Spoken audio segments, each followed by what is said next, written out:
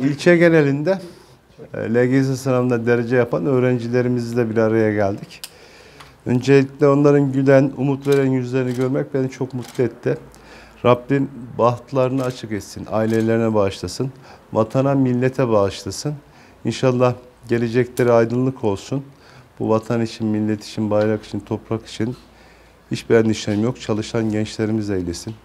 Kendiler bir yerlere gelsinler. Daha sonra bu ülküyle çalışan, bu manevi değerlerle çalışan çocuklarımızı yetiştirsinler diyorum. Ailelerini tebrik ediyorum, kutluyorum. Pandemi sonrasında sınava giren ilk sınıf aslında son sınıflar geçen yıl pandemi nedeniyle yoğun bir sınav hazırlığı yaptılar ama evlerinde de olsa. Bu çocuklarımız derste doğru dürüst belki düzenli online dışında ders görmediler. Onlar için daha zordu. Bu bizi mutlu etti. İlçe genelinde de yüzde olarak küçük de olsa yukarıya doğru hareket var. Bu da bizi umutlandırıyor. Özellikle milli eğitimle birlikte öğrencilerimize destek için yapacağımız projelere e, yol gösterici oluyor. Bu anlamda da ben Milli Eğitim Müdürümüzü kutluyorum. Diğer taraftan yıllar sonra Afşin'de özel okullarımız açıldı. İlki Karaoğlan Özel Okulu.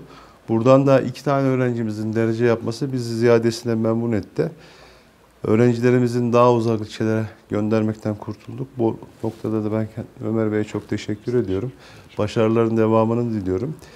Yine bu, sezona yine bir güzellikle başlıyoruz. Anadolu, proje Anadolu Lisemiz yoktu. Çok şükür bu sene açıldı. Milli Eğitim Müdürüme de çok teşekkür ediyorum. Ee, Fen Lisesi barajının altında kalıp ama akademik olarak durumu iyi olan öğrencilerimizi başka illere, ilçelere göndermeyeceğiz. Bu da bizi mutlu etti. Ben e, gençlerimizi tekrar kutluyorum. Allah bahtlarını açık etsin.